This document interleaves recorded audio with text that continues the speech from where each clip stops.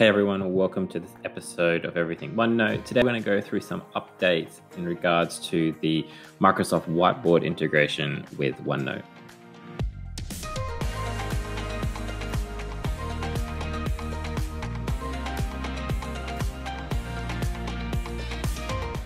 So I wanted to do this one actually again. We've already done a video on it, but there have been some significant changes to the whiteboard space. And also, um, I've gone through this with people before, and there is a considered understanding that there's a lot in here that you can already do that's in OneNote. So I wanted to highlight some things that you can't do and why you might like to use the two together. So first of all, yes, things that you can already do. So, you know, looking at my screen here, pens, kind of a no-brainer. We have pens, you know, we can rub them out as well. Depending on the version that you're using with OneNote, you will have a ruler as well. I can lasso things. I can pick them up. I can move them around.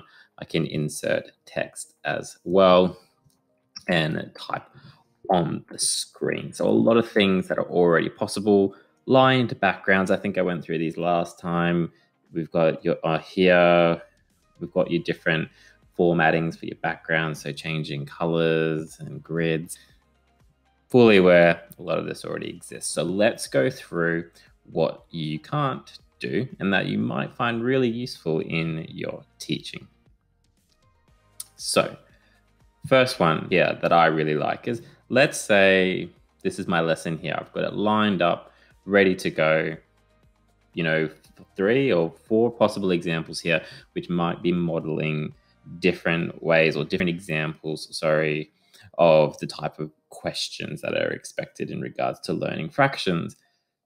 When we collaborate inside this space, students can actually select an example question and they can choose to vote on it. So I might ask them to vote on the question they found the hardest or the question that they found the easiest and they can actually come in here and they can give that uh, basically like a thumbs up or a you like. How you want to frame that questioning is totally up to you. The really nice, quick way to gain some information back from your students. The second thing that I really like inside this space is sticky notes. Now we have a video on sticky notes and how to make them kind of manually inside of OneNote. But sticky notes are a little bit um, I guess the best way is to say incorporated inside of this space. As in right down the bottom here, I just click on this sticky note tab and there it is there. It actually looks like a sticky note. It incorporates all the properties. We can change the color of that sticky note if we're happy to be theming it. Um, we can edit, delete, all of our fun things that we want to do are all available. So sticky notes are a lot easier to use in this whiteboard space compared to OneNote. The other things we have here is when I click this right down the bottom here, this plus button, so the insert menu, is we've got other things that will pop up. Now, let's just move me out of the way because I'm hiding some things. PowerPoint documents, Word documents, so these guys down the bottom here, you know, nothing too exciting. We know they exist inside of OneNote. What doesn't exist inside of OneNote some of these quick ways to do things like lists and templates. So let me just go to a cleared space on the screen. So let's look at lists first. By all means, I know it's, it's easy to kind of create a, a list in OneNote, but if we're working off the fly, if you're teaching and you think to yourself, we should really create this as a list, this is a really great way of doing it. And it's super simple you can actually type inside of this space here. Um, and it's, you know, it's much, much, much more intuitive and reactive to the teaching moment. Our other options here are templates. Now, there are quite a few of templates inside of this space now.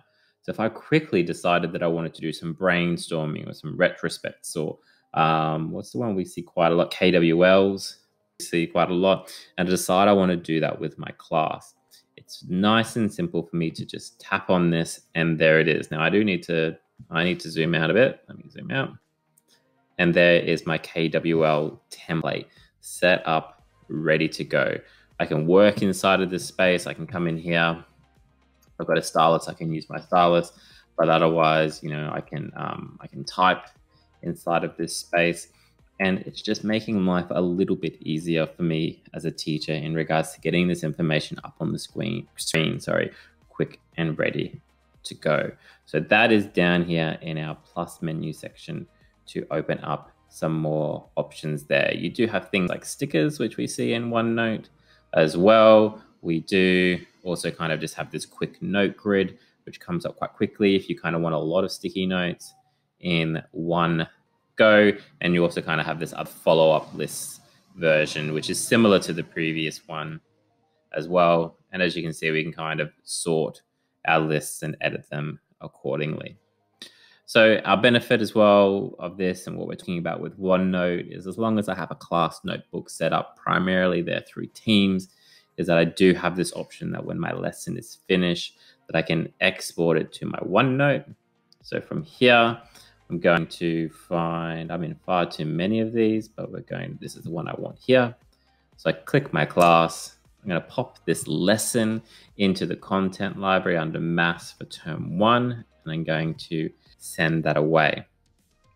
Really brilliant. I'm storing this because it might be initially stored on my device under the Whiteboard app. But now if I go into my OneNote and I go content library, mathematics, let's just hope it's going to do it quick. There it is.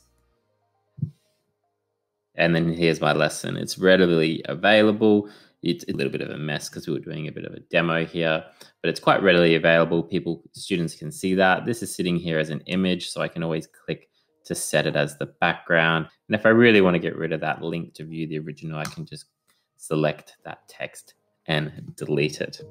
Anyway, guys, I hope you enjoyed that update on how to integrate the use of the Whiteboard app with your OneNote. Until next time, see you later. If you like this video, make sure you give it a thumbs up. And to keep up to date, don't forget to follow us. If you have any questions, feel free to write them in the comment section. Cheers.